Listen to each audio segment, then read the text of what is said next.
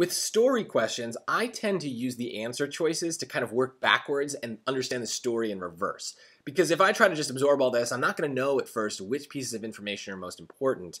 Um, but the answer choices tell me that there's kind of this there's two things going on, right? There's a park and there's a residential area. And, and I guess the beginning of the question tells us that too, right? There's a two hectare park and there is a 35 hectare residential area.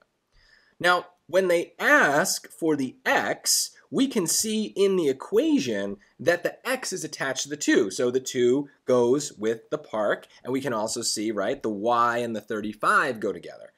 So now I'm not really thinking yet about what the x means. I just know that it means it has something to do with the park. So that's where my brain is going. I'm like, okay, choice A is about the park, choice C is about the park, and choices B and D are not. So right away I'm at a 50-50 shot just by being able to kind of connect a variable with half of the story.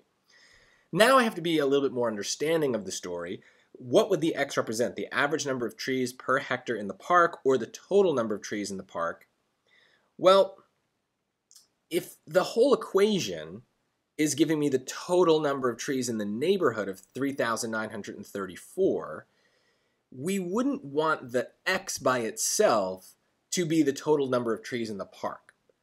Because then why would we multiply that by 2, right? The 2 is the number of hectares, so it's almost like if we did that, we'd have two parks. But if it was the total number of trees in the park, then I would just add that to the total number of trees in the residential area to get my 3,934. So the x by itself is not that. The x is kind of like being multiplied by, um, or it's kind of like behaving like a rate the average number of trees per hectare in the park because there's two hectares. So the, the reason we're multiplying by two is because that we take that average and there's two hectares, so that's where we get our total from. So choice C is actually not x, it's the quantity 2x.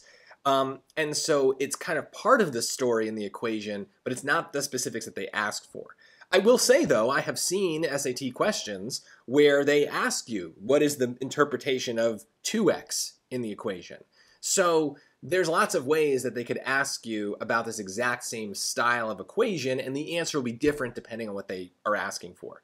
But regardless, I would start with the idea that there are two rates, two types of things, and if you can sort through half the choices just by picking the right thing of the two, then that'll at least kind of declutter the question so you can understand it more easily. Um, but yes, with any story question, my goal is to kind of marry the question with the answer choices and kind of work towards the middle rather than just read this thing and try to understand all of it right away. My brain is just not that good at processing that much information.